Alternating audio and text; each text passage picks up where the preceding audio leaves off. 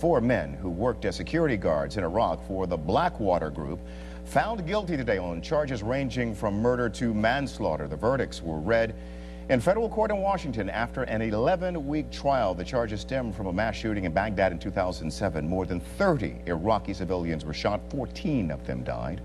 The Blackwater Group claimed they responded to incoming fire. It's difficult to understand it given the evidence, but um, you know I'm going to review our options with uh, with Evan, and um, uh, I expect we're going to appeal, and we're going to continue to fight vigorously for. It. Well, prosecutors argue the shootings were unprovoked. One defendant faces mandatory life in prison. The other can get uh, the others can get 15 year sentences. Jane Arraf has a closer look at how the case got to this point. It's taken seven years to bring the case to court. For Hussein, it feels like yesterday. We went to the place of the incident.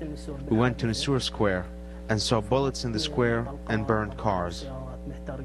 His older brother Mahdi was driving his taxi when guards from the American private security firm, known then as Blackwater, blocked the street and started shooting. I arrived at the hospital and saw three to four people dead already and many injured. My brother was in very critical condition. He was shot in his lungs. Two years ago, Hussein and other families settled a civil suit out of court. He says after paying almost one third of the settlement in legal fees, each family received about $230,000. He said he wanted to see the men hang. They walk around freely as if they haven't conducted a crime at all. All of the victims' families were surprised and hurt to see them walking in the streets. When Hussein and his cousin Haider were taken to the United States to testify in the trial, Haider said he was struck by how kind people were.